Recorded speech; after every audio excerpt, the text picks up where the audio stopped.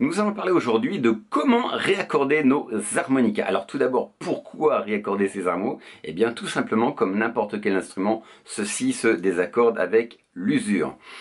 Euh, si vous jouez essentiellement en seconde position, comme la plupart des harmonicistes, euh, les notes qui vont se désaccorder le plus facilement sont en général le ré aspiré, le 5 soufflé, le 6 soufflé et le 5 aspiré.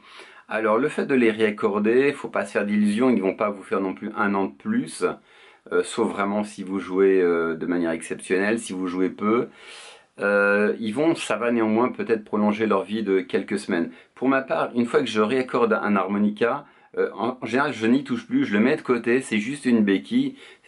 Pour au dernier moment, par exemple, si j'ai un harmonica euh, neuf qui me lâche, et eh bien en plein concert, eh bien je sais que j'ai toujours un harmonica euh, euh, sous la main, mais je vais pas jouer non plus du full time sur un harmonica sur un, vieil harmonica que j'ai réaccordé parce que je sais que même si je l'ai réaccordé, si je joue trop dessus, il va très rapidement se désaccorder. Donc c'est une fois qu'un instrument est désaccordé, mettez-le de côté, achetez-vous-en un neuf, mais vous savez que si cet harmonica euh, neuf vous lâche pour une raison ou une autre, eh bien vous aurez toujours un harmonica sous la main, c'est juste une béquille. Euh, l'autre avantage de réaccorder ces harmos, eh bien tout simplement ça va être de bricoler des accordages spéciaux selon votre imagination et les besoins du morceau que vous interprétez.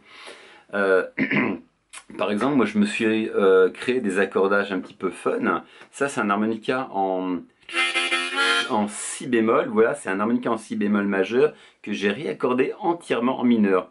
Tu vois, par exemple, quand je souffle, j'ai un accord mineur. Quand j'aspire, j'ai un accord mineur aussi. C'est vraiment très fun.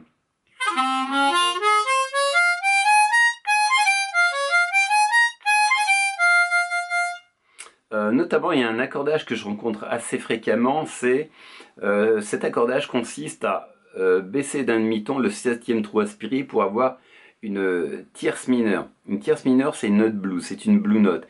Une note qui fait euh, sonner blues votre jeu. Alors cette tierce mineure, on l'a sur la première octave, mais on ne l'a pas sur la seconde octave. Alors du coup, certains harmonicistes eh réaccordent, euh, diminuent le septième trou aspiré pour avoir une tierce mineure sur la seconde octave. Vous voyez, la tierce mineure sur la première octave,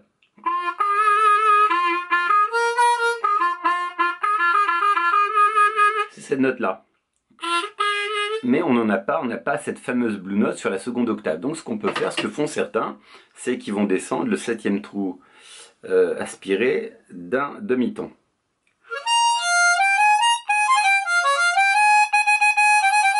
Et là j'ai une septième mineure, une, pas une septième mineure, une tierce mineure sur la seconde octave.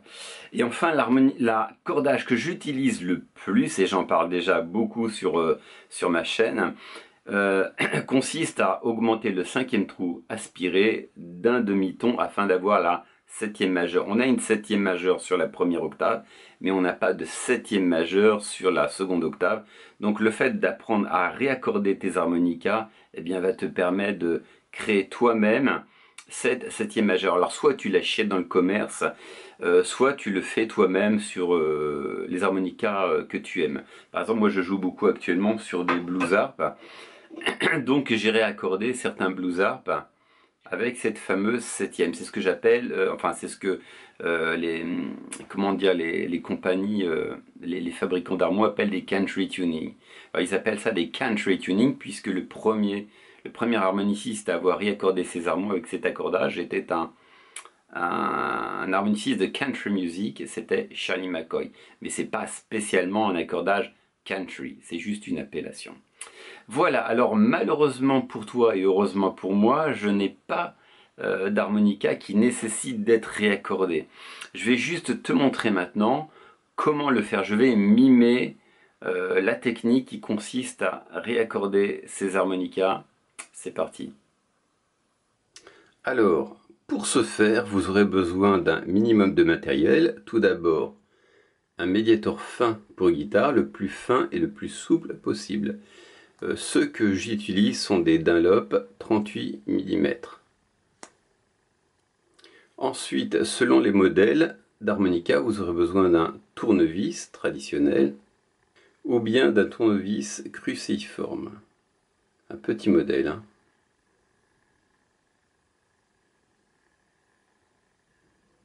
Ensuite, vous aurez besoin d'un trombone. Vous aurez besoin d'une lime à ongles.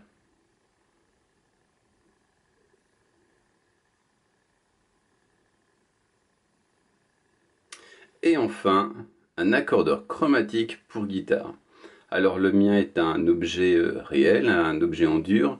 Si vous ne disposez pas de, métronome, sachez qu'il y a des applications euh, sur smartphone, tablette, euh, iPhone, donc qui me semble-t-il sont gratuites. Donc voilà, qui vous permettront de mesurer le diapason de vos instruments. Et maintenant, chers amis, devant vos yeux éblouis, je vais procéder au démontage d'un harmonica. C'est parti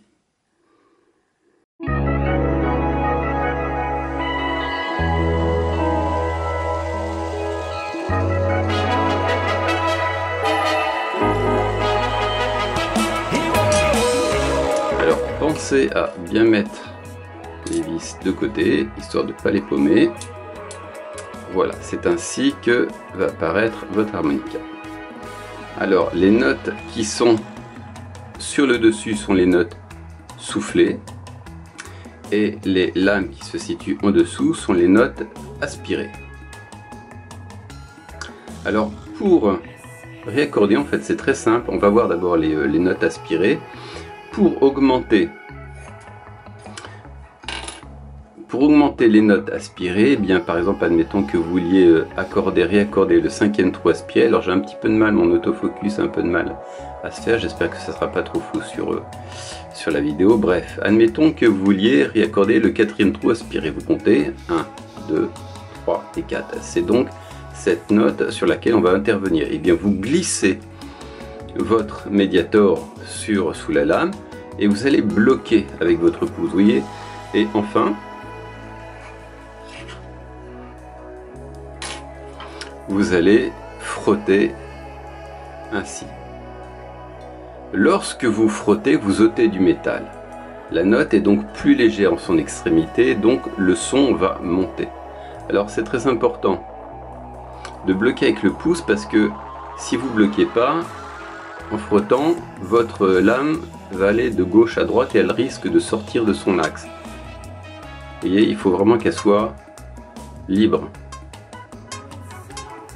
Donc voilà, vraiment, bloquez bien avec votre pouce et empêchez là de sortir de son axe, d'être bloqué soit sur le côté gauche, soit sur le côté droit. Donc vous allez frotter comme ça. Et de temps en temps, pour voir où est-ce que en est le diapason de votre instrument, eh bien vous allez, vous allez aspirer. Bon, par exemple, moi je sais que sur le quatrième trou aspiré d'un Do, j'ai un Ré. Donc, eh bien, je vais voir où est-ce qu'on est mon Ré.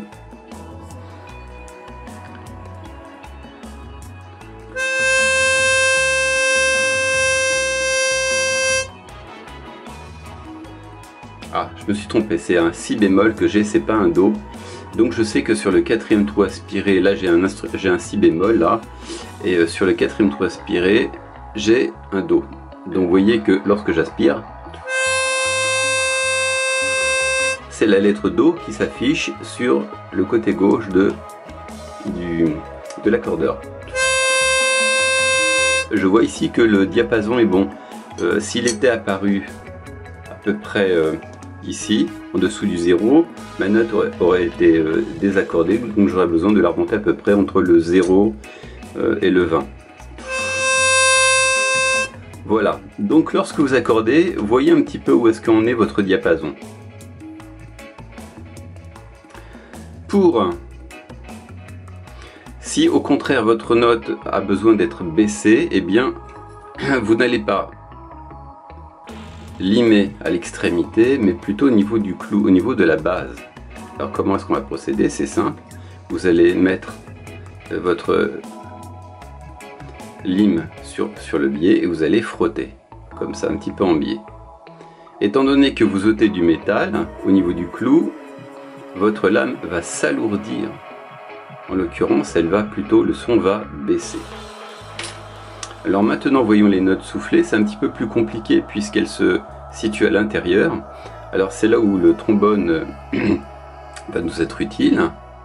Vous glissez, par exemple si vous voulez réaccorder le quatrième trou soufflé, et eh bien vous mettez, vous comptez 1, 2, 3, 4. Alors là je veux, sur un si bémol, le quatrième trou soufflé est un si bémol. Admettons qu'il soit désaccordé, je vais glisser mon trombone en dessous de la lame, comme ceci. Alors, c'est pas, pas forcément évident. Voilà, j'y suis parvenu.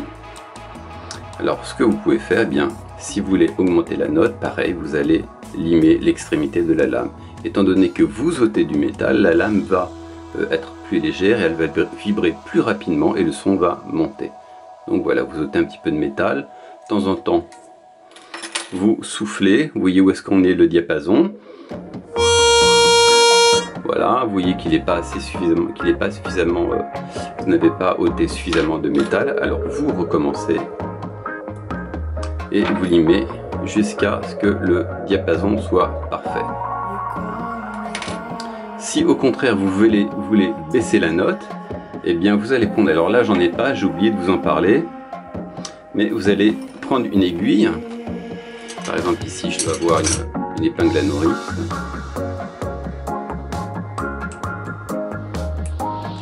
mien me pose problème là, voilà, alors ce que vous pouvez faire, eh bien pareil, vous allez ôter du métal au niveau du, de l'extrémité, au niveau du clou. Et vous allez frotter. Vous allez perdre du métal euh, euh, à, cet endroit-là. La lame va s'alourdir et votre son va... C'est vraiment, c'est extrêmement simple. Je vous conseille de vous entraîner plutôt sur des vieux harmonicas. Moi, la première fois que j'ai essayé, j'ai essayé tout seul sans que personne ne m'expliquait et j'y suis parvenu, donc il n'y a aucune raison que vous n'y parveniez pas. Voilà. Alors merci à toi d'avoir regardé cette vidéo. Si cette euh, vidéo t'a été utile, eh bien n'hésite pas à lâcher un gros like. Et puis bah, je te donne rendez-vous pour la prochaine vidéo. Ciao